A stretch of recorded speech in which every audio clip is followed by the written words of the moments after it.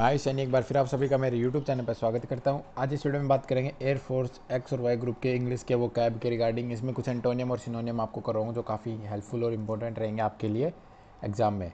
और किसी को कोई भी डाउट हो, किसी भी चीज़ के रिगार्डिंग आप मेरे को मेरी personal Instagram I D at the rate Ayush Saini nine nine मेरे को मैसेज कर सकता है। आयुष सैनी नाइन नाइन, ठीक है? तो चलिए शुरू करते हैं आज की वीडियो पहला क्वेश्चन देखते हैं। ट्रिवियल ट्रिवियल का हमें क्या बताना है? सिनोनियम सिनोनियम मतलब सेम जिनकी सेम सेम मीनिंग हो, ठीक है? ट्रिवियल का मतलब होता है नॉर्मल तुच्छ। मतलब ऐसे तुच्छ टाइप जिसकी कुछ इतनी वैल्यू भी नहीं हो, ऐसे लाइक इंपॉर्टेंट वगैरह कुछ नहीं है, ठीक है? तो इसके ऑप्शन देखते हैं क्या क्या हमारे पास सिग्निफिकेंट मोमेंटस क्रिटिकल अनइम्पोर्टेंट सबकी मीनिंग अपने को पता होनी चाहिए। मैं बार बार बोलता हूँ, जो मीनिंग करवा रहा हूँ, उनकी नोट करते रहना ताकि आपको जाते टाइम रिवाइज करने में टाइम ना लगे, ठीक है? जिसकी भी मीनिंग चाहिए, इसके, इनमें से कोई इसका सिनोनियम हो या ना उन सबकी मीनिंग आपको याद होनी चाहिए। ट्रिवियल में देखो सिग्निफिकेंट जो महत्वपूर्ण टाइप होता है। मोमेंटस अहम क्रिटिकल क्या होता है, जो नाजुक होता है। अनइम्पोर्टेंट मतलब जो इम्पोर्टेंट नहीं है, या फिर तुच्छ टाइप है तो। इसका क्या जाएगा? सिनोनियम क्या जाएगा? Unimportant next one is defile अब देखो डिफाइल जो है डिफाइल का मीनिंग होता है एक तरीके से टू करप्ट टू करप्ट और वी कैन से कि इसको अशुद्ध. क्या? अशुद्ध. तो अब देख लो। सबसे पहले मैं पोल्यूट पोल्यूट मतलब किसी चीज़ को पोल्यूट करना या फिर ख़राब करना, अशुद्ध करना डिले मतलब देरी डिसअप्रूव मतलब किसी को अप्रूव नहीं करना रिवील मतलब मैंने इसका बताया था क्या?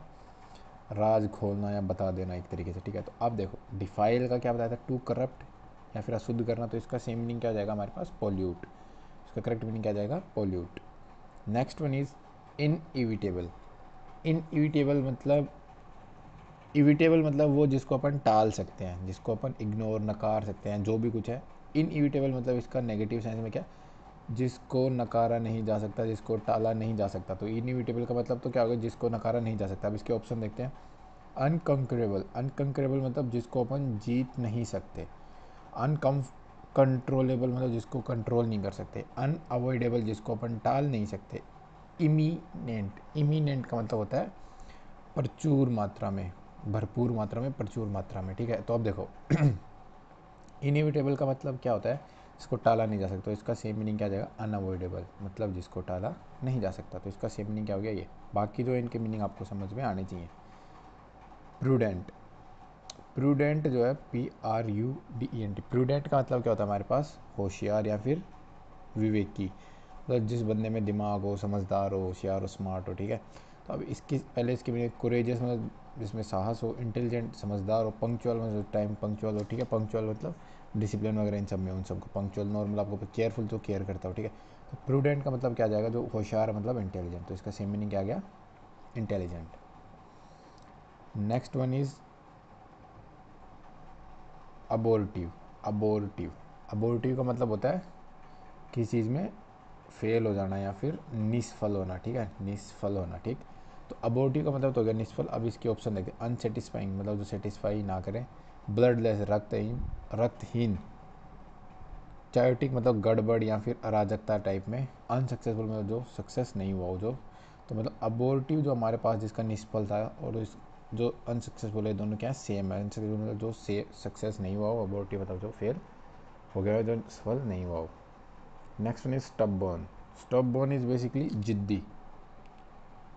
और आप लोगों को भी स्टब बर्न होना बहुत ज़रूरी है। किसके लिए? अगर आप लोगों को एयरफोर्स क्लियर करना आपको एयरफोर्स को ज्वाइन करना तो you have to be stubborn stubborn is like आपको उसके लिए काम करना होगा, आपको जिद्दी होना होगा, आपको मेहनत करनी पड़ेगी अच्छे से, ताकि आप लोगों का एयरफोर्स आसानी से निकल जाए, ठीक है? बाकी आगे के कामों के लिए हम हैं, यहाँ पे भाई फ़िज़िकल मेडिकल में आपकी तैयारी करवा देंगे, कोई दिक्कत वाली बात नहीं है। तो इसके ऑप्शन देखते हैं स्टब बर्न के ईजी आसान विलिंग चाहने वाला प्लाएबल इज़ बेसिकली फ्लेक्सिबल या फिर लचीला टाइप ओबस्टिनेट मतलब जिद्दी, ठीक है? तो स्टबन जिद्दी ओबस्टिनेट जिद्दी तो इसका सिनोनियम क्या गया? ओबस्टिनेट ठीक है? अगला देखते हैं। Antonym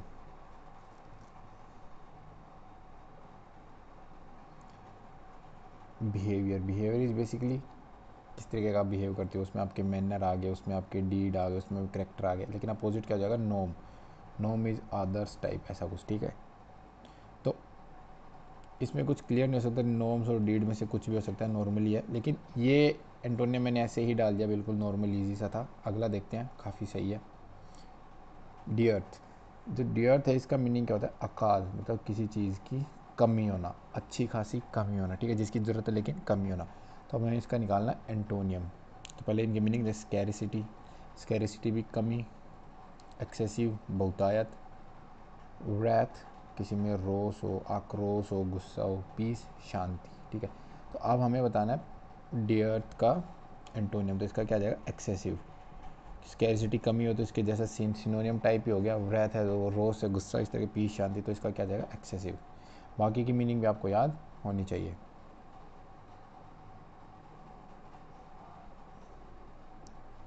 Next one is transient transient is basically क्षणिक। जो कुछ समय के लिए, मैंने पहले भी करवाया, लेकिन इसके ऑप्शन इस बार अलग है, ठीक है? क्षणिक जो बहुत ही शॉर्ट टाइम पीरियड के लिए हो, ठीक है? जो मतलब ज़्यादा समय, लंबे समय तक नहीं हो। तो इसके ऑप्शन में क्या क्या हमारे पास? अर्जेंट ज़रूरी ओरिजिनल वास्तविक यूथफुल और इटरनल अब हमें देखना है कि क्षणिक और इटरनल का होता है कि जो काफ़ी लंबे समय तक रहे। इटरनल मतलब फॉर ए लॉन्ग टाइम तो इसका अपोजिट क्या जाएगा? ट्रांजिट का इटरनल क्या जाएगा? Eternal solicitous solicitous solicitous is basically the one who is concern चिंताशील type जिसको थोड़ी चिंता हो, ठीक है? जो थोड़ा सोचता हो या फिर इस तरीके से, ठीक है? जो एक्टिव टाइप हो ईगर हो, ठीक है? तो अब इसके ऑप्शन में देखता हूँ पहले. कंसर्न जिसको थोड़ी चिंता हो ईगर एक्साइटेड टाइप जो भी इनडिफरेंट उदासीन, कोई इंटरेस्टेड नहीं है, ऐसे ही बकवास, सब कुछ नो इजी श्योर तो अब देखो, चिंताशील, इसका क्या जाएगा? इनडिफरेंट उदासीन, क्योंकि एक तो चिंताशील है और एक उदासीन है उसको कोई चिंता ही नहीं है, ठीक है? तो इसका क्या जाएगा? अपोजिट मीनिंग क्या जाएगा? सोलिसिटर्स का indifferent and the next one is conviction